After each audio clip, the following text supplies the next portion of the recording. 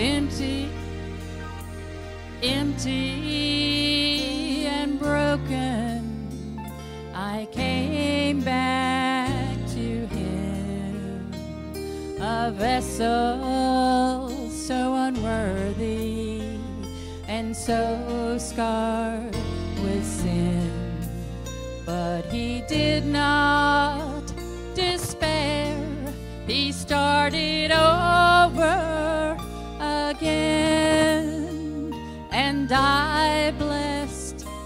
day.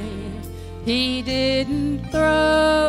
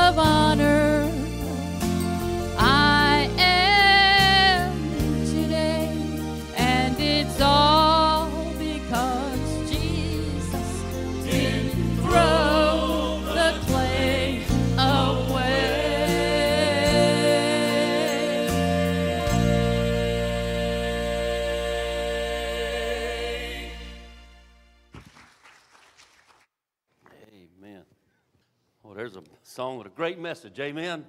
And I know we can all relate to that. I'm so glad he didn't discard us because of. He was willing to die on a cross and forgive us. Amen. And you should praise his name and praise his name often. If you got your Bibles this morning, we will be in the New Testament for a few moments in the book of James, uh, chapter 1. Of course, you find James uh, in the very back there, a few uh, books uh, prior to Revelations. James chapter 1 uh, this morning. Uh, a text, I believe, that uh, brings out a, an interesting topic today. It's a little one word uh, uh, topic, and it's our thinking, or thinking, if you will. And you wonder sometimes how, and you probably do as I do, what, what is it that uh, draws us away? What is the illustration of, of life I, I say we look for this morning in this particular text? A text that reminds us that we need to abide in Jesus Christ. A text today that tells us our thinking, uh, uh, and you may not know this, but it, in my case it does, thinking gets us in trouble sometimes. Amen? Uh, sometimes, folks, we get to thinking on our own instead of uh, letting the Holy Spirit do the talking. We do a little bit too much talking. James 1 tells us today that we are enticed. It is not by the tempting of God. It is not Jesus Christ who said, Let me see if I can put some worrisome on my people or tempt them or, or test, test them. I, I want to, uh, he, he wants us to, to, to know that we have a Holy Spirit that dwells within us that helps us that when we are enticed by this old world, folks, that we can be overcomers of that. We can, with our thinking, relate back to what God would do. Ask ourselves, what would Jesus do? Is that the words? Yeah, what would Christ do in any particular situation? And I believe if we would ask that more, I believe our hearts would be uh, better prepared. In this text today, we'll see those words of, a, of an enticing world, a world that wants to see you, let, let me say, a world that wants to see you Christians fail. That's what the world's all about. It makes the world feel much better when they see a Christian fail. You understand that? But listen, I believe we have an opportunity too to stand tall in the name of Jesus. I believe we have the opportunity day in and day out with our thinking to let the Holy Spirit be the one that moves within our lives and shows a different side. I believe it's very pleasing to God. Stand with me if you found that, James chapter 1. Let's look at this scripture here just for a, a few moments today. Verse 13, I want to pick up in verse 13, uh, James chapter 1 and verse 13. It says, Let no man say, when he is tempted, I am tempted of God. For God cannot be tempted with evil, neither tempteth he any man. But every man is tempted when he is drawn away of his own lust, and here's that word, enticed. Then when lust hath conceived, it bringeth forth sin, and sin, when it is finished, it bringeth forth death. Do not err, my beloved brethren. Every good gift and every perfect gift is from above, and cometh down from the Father of lights, with whom there is no variableness, neither shadow of turning. Of his own will beget he us uh, with the word of truth, that we should be a kind of first fruits of his create, creatures. Wherefore, my beloved brethren, let every man be swift to hear, slow to speak, slow to wrath. For the wrath of man worketh not the righteousness of God. Wherefore, lay apart all filthiness and superfluity of naughtiness, and receive with meekness the engrafted word, which is able to save your souls. Heavenly Father, your words today are encouraging words. Your words are positive today for us, for we want to think today, Heavenly Father, how to, we can leave here with a better attitude on life, a better attitude uh, and gratitude, uh, uh a, a, a positive note in our minds. We want to leave here, Heavenly Father, uplifted. So I ask you today, Heavenly Father, to change our thinking, not from our, from our heads, but down to our hearts. For it's in your name we pray. Amen. And you may be seated. You know, I think of, uh, uh, and thinking of this message uh, this past week, some, uh, anybody here remember, uh, maybe it's still out there, there was a, there was a, little, there was a little book uh, I think we read in elementary school somewhere down through there that, of the little engine that, that could. Y'all remember the little, the little was a little train engine that looked at the hill and, and what did he say? I, I think I can, I think I can. A positive uh, uplifting. I, I, thought about that little book this week and, and thinking that I, remember reading that uh, as, as, a, as a child, as a youngster, and how much information uh, from that little book is still effective uh, today. We, we sometimes get that old negative side of thinking because we don't uh, insert the positive side. We concentrate a little too much on the darkness. We concentrate on what the world says. We concentrate too much on what our neighbor says. We, we, we hear too much about what the co said instead of what Jesus Christ says. You see, I think there's a positive side of Christianity. I believe the positive side is the one that does exactly what that little train said. I think I can. I think I can. And it's very important that we move that way. In the, in the movie that was out, uh, years ago. I, I, still get tickled at it. Uh, what about Bob? Y'all remember What About Bob? Uh, Bob uh, was a mess. But anyway, there was a book that What About Bob was uh, featured about, a doctor that was helping a, a psychotic fella. Uh, but anyway, his book was Baby Steps. The book was where he took little steps.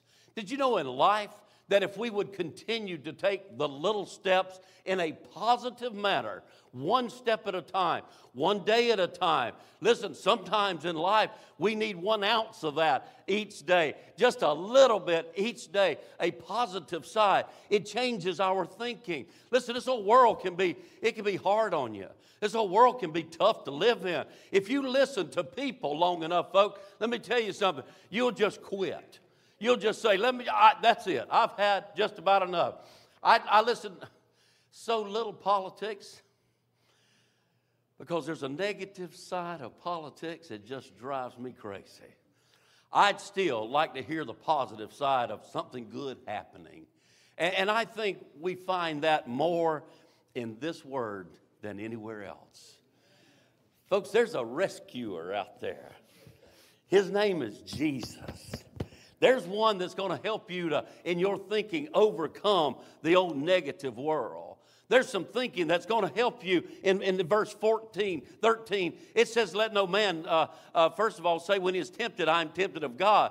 For God cannot be tempted with evil, neither tempteth he any man. Folks, I've said this before. God is not, God is not in heaven thinking how he can make your life miserable today. God is in heaven today wanting you to praise His glorious holy name. Amen.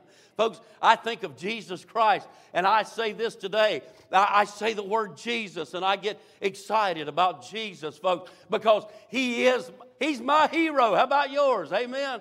Listen, when I need a rescuing, I can call on God, and He's coming and He's going to comfort me. That Spirit's going to be, uh, to start to speak out. You know, the greatest action I believe this fully. I do, church. The greatest action that takes place in our lives is between our head and our heart. That, that's something to see happening. If you are filled with Christ this morning, if you are a Christian today, let, let me share something with you. There is, a, there is a war going on, being battled right now. And listen, you're sitting here in the comfort of this air conditioning, these chairs. Because old Satan would like to come in here and sit with you. Don't you let him in here. Old Satan is begging for you to slip over just a little bit and let me sit down. Don't you let him sit down. It's between your head and your heart will make the difference of whether or not you let him sit with you or not. Folks, I'm telling you, he's not going to stand up here with me. He's just absolutely not going to stand up here because I'm not going to give him not one ounce of respect. I am not going to entertain him in any way. Folks, I am going to talk about Jesus Christ, the one that loved me enough in spite of me to save my own sorry soul. I was headed to hell and he changed my direction. Why would I give Satan any glory? He doesn't deserve it. So there's a lot going on right now, Christian, in your between your mind and your heart. God is in between there. Oh, Satan is pushed away. The Holy Spirit is dwelling, and it is teaching, it is preaching, it is talking to you as we speak, if you allow it. It's in your control. It's under your control today. I, would read a story one time. I didn't read the whole book. I read a, uh, as I do a lot of times, inserts of books. I find an interesting topic in there and I, I, I read it. But it was about a football coach from Colorado. Didn't know much about him. Christian football coach. Uh, was uh, highly involved in uh, uh the Promise Keepers, a men's, uh, y'all have heard of that? And, and, anyway, he was a Colorado football coach. There was a problem with Colorado's football team. This was 15 years ago, or longer, long, quite a while back. There was a problem with them. They were defeated at most games before they took the field. They couldn't beat Washington. They couldn't beat Ohio State. Colorado Buffaloes, I believe they were. Y'all seen them run out on that field with a buffalo on a, on a line, lunge line? But they couldn't beat UCLA. Now, they could beat Charleston Southern like Florida did yesterday, and Georgia Southern, and some of them other little old schools. But they, could, they, they lost in advance. They showed up for practice. True story. The football team showed up for practice. And the football field was no longer lined by yards. Football fields are measured by yards, 100 yards long, right? Theirs was mad- measured by the length of a football field. Foot, football. The lines had been, the football had been placed between, and a line was put. And they went to practice and said, What's all these lines? He said, Most games are lost by the length of a football. Folks, if you hold a football up between your head and your heart, it's about the length of a football. Did you know we lose in life often about the length of a football? They practiced day in and day out. They had plays that were set up, and they all of them had those a list of those plays, and they run those plays. And they said it was the funniest thing you ever seen. It looked like gophers trying to go in a hole. But the, the, the, the, the idea was, I want to run this play and gain one football length. And if you'll watch, it's football season, isn't it, guys? It's all kicked off. We talked about it this morning. There's a lot of football games will be lost uh, by the length of that football. That first down that they needed so bad, they came up short about a football. That coach put Colorado in a position. They prayed, practiced, practiced, and practiced, play after play after play to gain one football length. They did play UCLA. They did play UCLA. Both of them ranked in the top five or six or seven. Winner would go to the Orange Bowl. Colorado played for the national championship. Didn't call it the BCS back then, they just called it, uh, you won that, you know what I'm saying. You know how they did it? They were ahead by two points. And they were on the 35 yard line. And it was fourth and a foot. They said, We make it, we retain the football for four more downs. Time will run out, we'll win the game. They came to the sidelines, and he said, Do you remember what I said? And the team, offensive team, laughed. They said, Coach, we remember everything you said. There's not a chance that we can't move this football the length of a football. And they did. They retained the football for four more downs, won the football games, and got the invite to the national championship game, and did beat a team there to win the national championship. Colorado did. I think they're only one in I don't know how many years. What did they remember? They remember what God said. He said that we need to be positive. We need to think. Those things that's in our mind, we're not tempted by God. Verse 14 said, But when man is tempted, when he is drawn away from his own lust and he is enticed, we need to stop sometime and remember how can we move forward? How can we have that positive thinking? How can we have a, a, a positive effort here? I'll tell you, it will come not from your head, but it will come from your heart. If we do it God's way, folks, I'm telling you, it will make all the difference in the world. The greatest action, I believe, that takes place is between the head and the heart. Because in between there, my friends, is God Almighty, is Jesus Christ. It says, when verse 15 says, then when lust hath conceived, it bringeth forth sin. And sin, when it is finished, it bringeth forth a death. Do not err, my beloved brethren. What's he saying to us, church? He's saying here today that we need to think positive about our movement in as Christians. We need to move forward. And yes, sometimes that may not be by leaps and bounds. As a church, let's take a look at our church here today. Let's continue to move forward the length of a football at a time. As long as we are moving forward, folks, we cannot be moving backwards. Amen? Are you seeing what I'm saying? We've got to continue to move and we've got have that thought that goes to our heart. What is going to be the best? What is going to exalt the name of Jesus? Folks, it'll be the very action that comes from the thoughts we have that moves to our hearts and the movement within. You see, I believe this today that if we as Christians today would take this very important statement here and, and move forward, understanding that this whole world wants to entice you, but that enticement will not come from God. God is not going to send you out in, into a, a, negative situation. God is going to give you uh, an answer. God is going to help you in your thinking to do what is right with Him. Every good gift, verse 17 says, and every perfect gift. You ever thought about that? Think about this in your life, real quick here. Every good gift and every perfect gift is from above. Folks, I'm going to tell you something. If we would just stop long enough sometimes to get us a little piece of paper and list all the goodness of God, folks, you're going to, you're going to need a, a bigger piece of paper. I don't know what size paper you start with to list the goodness of God in your life on, but you're going to, I don't care what size it is, you're going to need a bigger one because He's mighty good to us, isn't He?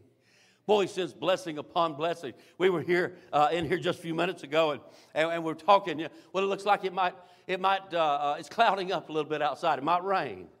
But did you know there's one that's in charge of the rain that knows whether or not we can stand it or not?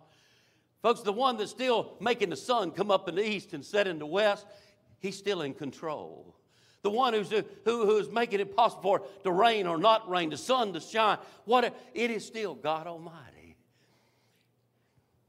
And I'll tell you, I love the very fact when I start thinking that God knows me personally. Not only is He looking out for the goodness of this world and the things here in it and making it still work for folks, He is still looking out for you and I. He's still watching and giving to us graciously and mercifully, and we don't deserve it many times. We don't deserve it. So our thinking is so important. Hey, have you ever heard anyone say, now, now, and you've, hear, you've heard these words before, uh, uh, probably, now, now, who do you think you are? Wait, wait, wait, who do you think you are? Uh, we've also heard the words, uh, uh, What in the world were you thinking? I, have heard that uh, before. I used to have a, a, high school football coach. And if you ever got one of those penalties for being stupid, he'd say, Gee, Manetti, what were you thinking? I thought that was a pretty nice way to put it, didn't you? Gee, Manetti, what were you thinking? But but I, I, can remember what what are we thinking? You've listen, y'all, y'all looking at me like I'm the only one that's ever heard that. Every one of you said it to you youngins before. Them kids of yours. What was y'all thinking? You know? And but anyway, we, we think, what are we thinking? What is what is our mentality? Are we on a positive? Or are we are, are we on a, uh, a traveling in life with a uh, with negativeness? Uh, what are we thinking? You know, and, and books. Have you ever noticed books? I, I even checked this out uh, this, uh, this morning just for a few moments. It made me think I had made a note about uh, books on, on thinking. They're everywhere. They're, everybody's wrote a book on how to think. I looked in this off my office over here right, right next door, and I looked, and there was there was books on, on positive thinking, on thinking. But did you know what? I, I got uh, my office at home where, where I study. I, I got books on, on positive thinking uh, and thinking the right. But did you know that if we don't have any action with those words, they are just books with words in them. So our thinking has got to be here. Look what it says. I started on this verse. Every good gift. Just think about this. Put this in your thinking uh, uh, um, uh, mind here. Every good gift. Now, he didn't say some, he says every good gift and every perfect gift is from above. And it cometh down from the Father of lights, with whom is no variableness, neither shadow of turning. Did you know there's one that we can count on, folks, and it's Jesus Christ? There's one that we can, you can take him to the bank, folks. He's not going to turn his back on you. There will be no shadow of God turning his back on you. God will walk through the fire with you. God will be there through the thick and the thin. God will be there to help you for the asking. Have you ever noticed how, how easy it is to call on God for the assistance that you need? Listen, we need peace today. We need peace in our lives today. There's a world that is willing to attack you today. There's a world out there that wants you to see the dark side of everything. Have you been around those kind of people? Let me tell you what to do with those kind of people. Tell them about Jesus Christ because they need Jesus. They need Jesus. I, I, I just love to hear someone that gives God the credit when God uh, is so deserving. I love a prayer of someone that says, Thank you for the peace. I talked to a, a, a lady yesterday. I'm going to uh, do her husband's service uh, uh, Saturday morning at 11 o'clock. Uh, and I think I'd mentioned to you all. And, and, and she said to me yesterday, She said, I, I, just, I just have a, a, a peace right now. And I know the only way, after losing my husband of 40 something years, that I can have this peace is because Jesus has given it to me. Folks, I love to see someone or hear someone uplift the name of Jesus for what he's doing in our lives. Amen. We have so much to be thankful for. So our thinking should be in that uh, uh, fashion.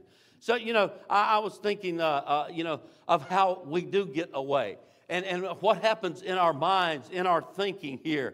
But there's, there's something that happens, and I, I kind of mentioned it to you here just a minute ago. But, but the desires, this verse uh, we was talking about in verse uh, 14, being enticed. The desires of this whole world that take us away in our thinking from, from God, those desires, they, they come from no, no, no one else but Satan himself. Folks, Satan wants to see you fail. But let me say this Satan is the one that puts on the bait. Satan is the one that puts on the bait. It's up to you and I whether or not we take that bait or not. There's the thinking between the head and the heart.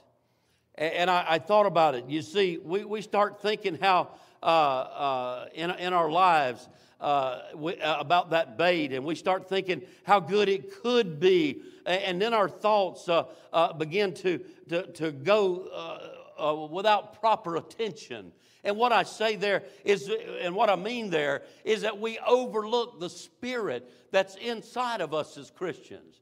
Our heads has got this in mind. Satan has put that old bait out there. We have decided to entertain it, and we've done that without proper thoughts, you see. But let me tell you something that direction that we need, folks, it comes from the very action that we take when Jesus Christ speaks to us. The Holy Spirit speaks to you, Christian. Let me say this if it doesn't, I need to see you down here for salvation. You need to get your life right. That Holy Spirit will intervene. It will over, overshadow the thoughts. It will help you put old Satan behind you. Yeah, you ever had a, and, and I think about it sometime with the Old, Old Testament, especially we talk about uh, uh, prophets and, and, uh, and, the, and the words that came from God through those prophets, and then they prophesied the word, and then we saw those words come true as time went. That's what would uh, distinguish them as a prophet, someone who would say things that God had laid on their hearts, and then it would come true. We'd know those true words for from God, and, and that was truly a prophet. And, and that was how uh, uh, word came from God, and, the, and men were, were enticed by God and, and heard from God. And, and then we see here today the New, New Testament as we know it here, Jesus Christ and the Holy Spirit, and it dwells with us all the time. Oh, the, the, the, we, we realize that there's no separation. We don't need a, a priest to speak for us. We don't need, you don't have to come to me to pray, folks. I will pray with you at any time. But you don't have to. You can go directly to Jesus Christ. So we have a direct opening, if you will, to the Holy Spirit and let it begin to speak to us. But I think about sometime uh, uh, about in a, in, a, in a dream world. Uh, you, you, may have had something that, uh, uh, or someone on your mind. Have you done this? Uh, you, have thought about somebody, something came up, an incident, or, or you, and, then you, and then you dreamed about it, and there they were in a dream. You don't even know what happened. I, I'll tell you how, what I'm talking about, too. Last week, Sandy told me she dreamed about a bull. Twice. Twice she dreamed about a bull. I said, What was the bull doing? She said, One time it was trying to catch me. We don't, I got cows, but we don't have any bulls that's going to catch you. I said, What was you dreaming about bulls catching you? And then another night she said, I dreamed about a bull again. And I was in a gate and you was trying to get it, and, and, and, and I, it woke me up. I said, Well, that sounds like a nightmare. Well, here's what happens. Two or three days later, I decided to move some cows. And I'm standing over there with a little walking stick, shooing the cows, and there's a little baby calf that just been born. And it got mixed up and didn't go out the gate with its mother, it went with some other cows. I told Sandy, just ease around it and bring it back through. Right? And I'd hold the gate. She went to push him, and he started going, and then it decided, I'm not going this way. She grabbed the little bull. I wish y'all could see Sandy holding a baby calf. But that was her dream. It was going to happen. Sometimes we get things in our minds. We get things that, that, that possibly a dream, possibly, I, I, I don't know. But you know, this, this mind, our minds are powerful. But folks, there's something bigger than what's in our minds. There's something bigger, and it lies within our heart, and it's Jesus. We're going to be enticed in this whole world. We're going to dream dreams. We're going to think of things. We're going to wake up with nightmares. We're going to have all kinds of things happen in our life. There's going to be darkness that's coming into our lives in ways that we never expected. And I'm going to tell you something, we're going to have to deal with it. It's a challenge. But there's one that I can tell you of this morning, folks, that is up to the challenge for his children and that is Jesus Christ. You're going to think the worst, but God's going to give you what it takes to find peace, to understand that He's in charge, and that we must turn it all over to Him. Revival's around the corner. Our thinking is going to be a necessity. Our actions is going to be a necessity. Church, I believe we're in a great, great time right now to be in revival. I, I believe it's a time that, that harmony, unity come within the church. I believe it's a time when we recognize that we all serve Christians. Listen to me closely, because this is something that is, is just, it's just destroyed in our, uh, in, in our theologies across this nation today. Everybody doesn't believe what we believe. We've got so many theologies out there. It has been washed, watered, separated, torn apart, rewritten. We've got more Bibles explaining it wrong than I have ever seen. We've got more word coming out of pulpits and seminaries today that is not that is not conclusive about the Word of God. I don't think this Word was written years and years ago and came from God and it has any variableness. That's what the Word says here in James. There is no variableness in here, it is no wrong in this Word. And I believe we need to stand on it today just like it was fresh and new as it was given to those that wrote it years and years and years ago. And I think our thinking has been just, uh, just, just, just watered down, and people don't even know what to believe. I believe this revival is a good time for us to make sure we're on the same page. I think this revival is a good time for us to examine our own lives. I think this revival is a good time for us to look at our own thinking and ask ourselves are we thinking what God would have us to be thinking. In this 18th verse here, it says, Of, of his own will begat he us with the word of truth, that we should be a kind of first fruits of his creatures. Creatures, I'm sorry, creatures. Wherefore, my beloved brethren, let every man be swift to hear, slow to speak, and slow to wrath.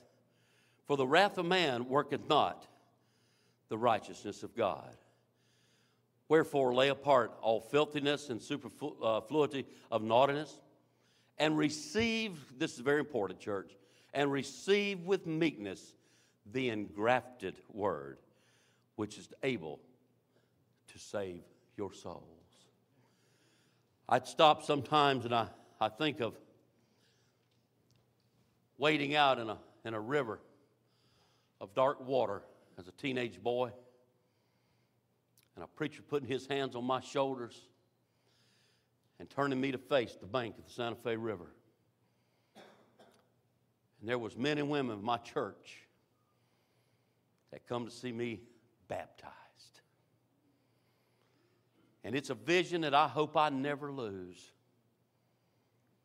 It's a, it's a memory that I hope I will always be able to hold on to A little church out in Brooker where I was raised, they, we'd just built a new sanctuary. And it was February and the water was down to you know what degrees in the, in the wintertime in the river. But we didn't have to worry about it. New church with a baptistry. Warm water, they said. But everybody I'd ever seen baptized was baptized in the cold water of the Santa Fe River. That's where we baptized. And it brought a group of boys and girls together, four or five of us one morning, that had given their life in a few weeks prior. And he said, We're going to open services in three weeks in the new church. And they're going to baptize you in the baptistry. And we said, No. Can we go to the river like it's always been done? And they weighed us out in that cold water. It was about uh, when it got up to here when I thought, boy, that would have been nice in that baptistry. but it's a thinking, it's the thoughts in my mind that I have never relinquished. I can still re- remember wading out in that water. Folks, your salvation, your soul has been changed with Jesus Christ. You're not, you now don't have just a, a, a, a no longer just have a, a mindset, you've got a heartfelt. It has moved the length of that football. You're now thinking with your heart. It's different. In the 23rd pro- book of Proverbs, it's in the seventh verse. It says, For as he thinketh in his heart, so is he. As he thinketh in his heart, so is he. That's us. What do you think with today? It enters your mind. We see, our eyes is here, our, our heads here, we see. What do, we, what do you do to entertain it? Do you take it right onto your heart and let God discern it? Folks, that's the proper channels. That's the proper channels. We see, we hear, we know. Listen, if you're filled with the Holy Spirit, let me tell you something about the power of the Holy Spirit. Folks, it will guide you. The power of the Holy Spirit will help you to make a wise decision. The reason we don't sometimes is we override it. We have that power. We have that power. I didn't say it was a power that God's happy with us with when we do that. Let the Holy Spirit speak. Don't think here, see here, entertain here. What's in your heart is to